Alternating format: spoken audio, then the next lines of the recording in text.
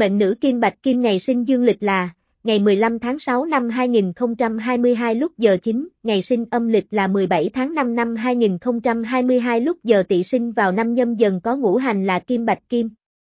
Tháng Bính Ngọ có ngũ hành là Thiên Hà Thủy ngày kỷ hợi có ngũ hành là Bình Địa một giờ kỷ tỵ có ngũ hành là Đại Lâm một với năm tháng ngày giờ trên sẽ hình thành nên tỷ lệ ngũ hành ban đầu F0 là tỷ lệ ngũ hành được hình thành tại thời điểm sinh ra là 1, 21% là cân đối, hỏa 24,7% là cân đối, thổ 33,4% là hơi nhiều, kim 13,7% là ít, thủy là 7% là quá ít,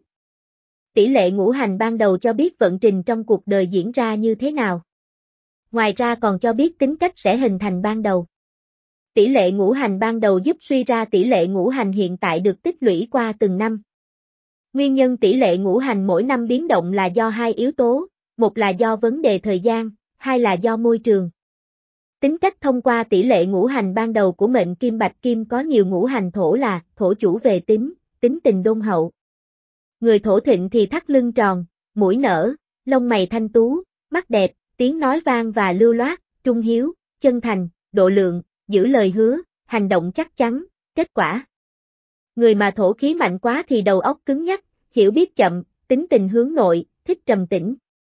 Người mà thổ khí không đủ thì sắc mặt ủ rũ, mặt mỏng, mũi ngắn, lòng dạ ác độc, bất tín, vô tình, mệnh này nên bổ sung các ngũ hành nào quá ít giảm bớt các ngũ hành quá nhiều. Đây là một bản rất quan trọng nói về 10 ngũ hành ứng với 10 vấn đề thực tế của cuộc sống được gọi là 10 thần.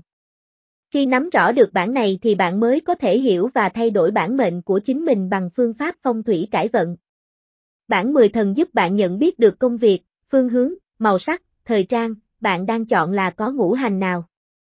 ngũ hành đó có lợi cho điều gì trong cuộc sống nên tăng giảm như thế nào cho phù hợp với từng thời điểm. Nữ sinh năm nhâm dần là mệnh kim bạch kim ngũ hành một đại diện cho lĩnh vực về cha và tiền tài, ngũ hành hỏa đại diện cho pháp luật và hôn nhân, ngũ hành thổ đại diện cho mẹ và công danh, ngũ hành kim đại diện cho sức khỏe và anh em, ngũ hành thủy đại diện cho con cái. Dụng thần được hiểu là một hay một nhóm ngũ hành giúp cho bản mệnh được cân bằng theo từng thời điểm khác nhau tùy theo vận mệnh của mỗi người tại mỗi thời điểm khác nhau mà sử dụng dụng thần cho phù hợp. Dụng thần có hai dạng là tự nhiên theo thời gian hoặc chủ động bổ sung môi trường bằng phong thủy cải vận. Tương tự như việc bệnh uống thuốc để hết và để tự nhiên họ và tên chi phối 10% số mệnh. Họ tên và địa lý làm cho những người có cùng thời điểm sinh ra có số mệnh khác nhau theo thời gian, họ đại diện cho tổ tiên họ mà tốt thì được tổ tiên giúp đỡ, họ xấu thì không được giúp đỡ hoặc rời xa quê hương, họ mà trung bình thì được nhờ tổ tiên và tổ tiên cũng được nhờ mình. Họ vi đối với mệnh này là tốt ngoài ra họ vi ý nghĩa là sự xinh xắn, nhỏ bé nhưng cũng rất giàu sức sống, đầy mưu trí và sáng tạo, nhưng lại hay lo sợ và cô đơn ngũ hành thuộc thủy sinh ra một, được kim tương sinh nhưng kỵ với hỏa và khắc với thổ. Tên lót đại diện cho anh em bạn bè tên lót mà tốt thì được nhờ anh em bạn ngược lại thì bị anh em bạn bè tranh đoạt và lợi dụng.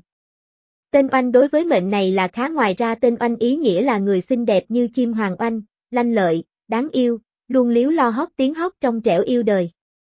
Ngũ hành thuộc kim sinh ra thủy, được thổ tương sinh nhưng kỵ với một và khắc với hỏa. Tên đại diện cho bản thân và thành tựu tên cũng như khát vọng của cha mẹ. Tên mà tốt thì có được thành tựu. Tên xấu thì vất vả gian nan, nên chọn các tên phù hợp để có số mệnh tốt hơn tên Nhã đối với mệnh này là tốt ngoài ra tên Nhã ý nghĩa là người học thức uyên bác, phẩm hạnh đoan chính, nói năng nho nhã nhẹ nhàng.